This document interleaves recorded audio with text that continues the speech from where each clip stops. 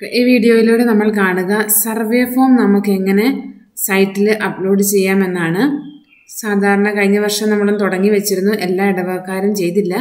ഈ വർഷം എല്ലാ ഇടവകക്കാരും സൈറ്റിലത് സർവേ ഫോമിന്റെ ഡീറ്റെയിൽസ് നമ്മൾ അപ്ലോഡ് ചെയ്യണമെന്ന കാര്യം കാര്യം ശ്രദ്ധിക്കേണ്ടതാണ്. നമ്മൾ അതുപോലെ തന്നെ വീണ്ടും നമ്മൾ സൈറ്റിലേക്ക് നമ്മുടെ സൈറ്റ് അഡ്രസ്സ് ഗൂഗിൾ സെർച്ച് ബാറിൽ കയറി ടൈപ്പ് ചെയ്യണം. W W dot catechism M D Y dot in എന്ന സൈറ്റിൽ നമ്മൾ കയറുന്നു. പാരീഷ് ആൻഡ് ഫോറൈൻ ലോഗിൻ നമ്മൾ ക്ലിക്ക് ചെയ്യും പാരീഷ് ആൻഡ് ഫോറൈൻ ലോഗിൻ ചെയ്ത് ചോദിക്കുമ്പോൾ ഇങ്ങനെയാണ് യൂസർ നെയിമും പാസ്വേഡും ചോദിക്കും. നമ്മുടെ ഇടവകയുടെ യൂസർ നെയിമും പാസ്വേഡ് നമ്മൾ അടിച്ച് ലോഗിൻ ചെയ്യണം. യൂസർ നെയിമും പാസ്വേഡും അടിച്ച് നമ്മൾ ലോഗിൻ ചെയ്ത് കഴിയുമ്പോൾ നമ്മുടെ ഇടവകയുടെ പേജ് നമുക്ക് തുറന്നു വരും. അതിൽ നമുക്ക് കാണാം.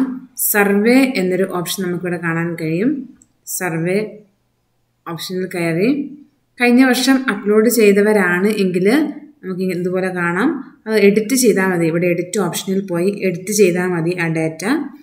ഇനി കഴിഞ്ഞ വർഷം ഡാറ്റ എന്റർ ചെയ്യാത്തവരാണെങ്കിൽ ആഡ് സർവേ ജനറൽ എന്ന ഓപ്ഷനിൽ പോയി നമ്മൾ ഡീറ്റെയിൽസ് നമ്മൾ ആദ്യം മുതൽ നമ്മൾ എൻട്രി ചെയ്യണം. ഓരോ കാര്യം പൂരിപ്പിക്കണം. അവസാനം ആഡ് സർവേ എന്ന ചുമന്ന ബട്ടൺ ക്ലിക്ക് ചെയ്താൽ അത് സേവ് ആകും. അപ്പോൾ സർവേ ജനറൽ ലിസ്റ്റിൽ അത് വരുന്നതാണ്. പിന്നെ നമുക്ക് ആഡ് സർവേ ടീച്ചർ. ടീച്ചേഴ്സിനെ കുറിച്ചുള്ള വിവരങ്ങൾ നമ്മൾ ആഡ് ചെയ്യേണ്ടത് ഇവിടെയാണ്.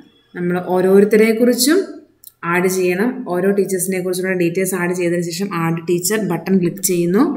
വീണ്ടും അടുത്തയാളെ നമ്മൾ എന്റർ ചെയ്യുന്നു. അങ്ങനെ എത്ര ടീച്ചേഴ്സ് നമ്മുടെ ഇടവകയിലുണ്ടോ ആ ടീച്ചേഴ്സിനെ കുറിച്ചുള്ള വിവരങ്ങൾ ഇത്തരത്തിൽ നമ്മൾ ആഡ് ചെയ്യേണ്ടതാണ്. ഇനി ഓൾറെഡി അപ്ലോഡ് ചെയ്തവരാണെങ്കിൽ അത് ടീച്ചേഴ്സിന്റെ പേര് മാറ്റമുള്ളവരുടെ പേര് അങ്ങനെ മാറിപ്പോയവരൊക്കെ ഉണ്ടെങ്കിൽ അത് എഡിറ്റ് ചെയ്താൽ മതി എന്ന കാര്യം ഓർപ്പിക്കുന്നു സർവേ ടീച്ചേഴ്സ് ലിസ്റ്റിൽ അപ്പോൾ നമുക്ക് ടീച്ചേഴ്സിന്റെ ടോട്ടൽ ഡേറ്റ നമുക്ക് കിട്ടുന്നതാണ്. സർവേ ജനറൽ ലിസ്റ്റിൽ എല്ലാ ഡേറ്റയും നമുക്കുണ്ടാവും. അവിടെ നമുക്ക് ഇതുപോലെ പച്ച ബട്ടണിൽ ഫോം പ്രിന്റ് എടുക്കാനുള്ള ഒരു ഓപ്ഷനുണ്ട് പ്രിന്റിലേക്ക് പോകും ഇങ്ങനെ. പ്രിന്റ് പ്രിവ്യൂ കാണിക്കുന്നതാണ്. നമുക്ക് വീണ്ടും ചെക്ക് ചെയ്യാം. നമ്മൾ ചെയ്ത എന്റർ ചെയ്ത കാര്യങ്ങളെല്ലാം കൃത്യമാണോ എന്നുള്ള കാര്യം നമുക്ക് ഇത് ചെക്ക് ചെയ്യാവുന്നതാണ്.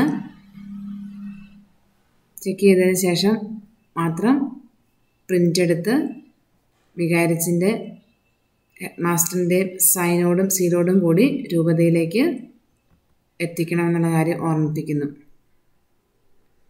ഇത്രയും കാര്യങ്ങളാണ് സർവേ ഫോം അപ്ലോഡ് ചെയ്യുമ്പോൾ ശ്രദ്ധിക്കേണ്ടത്.